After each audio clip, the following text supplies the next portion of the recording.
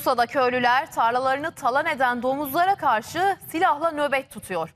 Köylüler domuzları vurmayıp sadece havaya ateş ederek korkutuyor. Köylüler domuzlara karşı yetkililerden bir çare bulunmasını istiyor.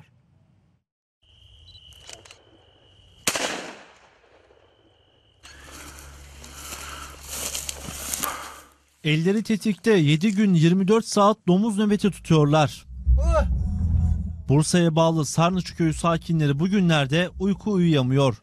Çünkü tarlalarına domuzlar dadandı. Sabaha kadar karın erkek mesela beklemek zorunda kalıyoruz. Boşuna silah atıyoruz falan filan işte alabilsek öyle alacağız. Uludağ yamaçlarında sürüler halinde gezen domuzlar girdikleri tarlada hiçbir mahsul bırakmayıp hepsini telef ediyor. Beşer kişi, altışar kişi herkes gönüllü olarak gidiyoruz yani. Evet evet. Sadece buraya değil başka muhitlere de gidiyoruz arkadaşlar. Oralara da gidiyoruz. Sadece burası değil. Evet evet. Köylüler geceleri gruplar halinde silahlı nöbet tutuyor. Köyün belli noktalarına ses çıkartan düzenekler de kuran köylüler yetkililerden yardım bekliyor.